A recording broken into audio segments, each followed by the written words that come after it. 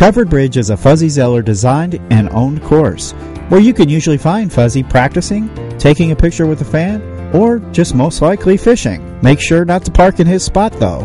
The bridge, as it's commonly called, is an 18 hole course that is nestled on a gentle, rolling plain at the foot of southern Indiana's Floyd Knobs. Each hole has been laid out to emphasize the natural beauty of the landscape and panorama. The Par 72 circuit features five lakes, a meandering creek, and is pleasantly forest. Often described as fun and challenging by golfers of all skill levels, they love playing off the zoysia grass greens and fairways and putting on the beautiful, healthy greens. Approximately 50 sand traps guard the gently contoured greens and fairways. Each hole offers a choice of four separate tees matching the course, which makes Covered Bridge a favorite for all levels of players. Covered Bridge offers full championship practice facilities with a driving range, putting green, and sand bunkers to increase your golfing ability. Our PGA professionals offer the attention that you need whether you want to invest in a new set of clubs or need help perfecting your swing. Covered Bridge Golf, located in Sellersburg, Indiana, is just a 10 minute short drive north of Louisville.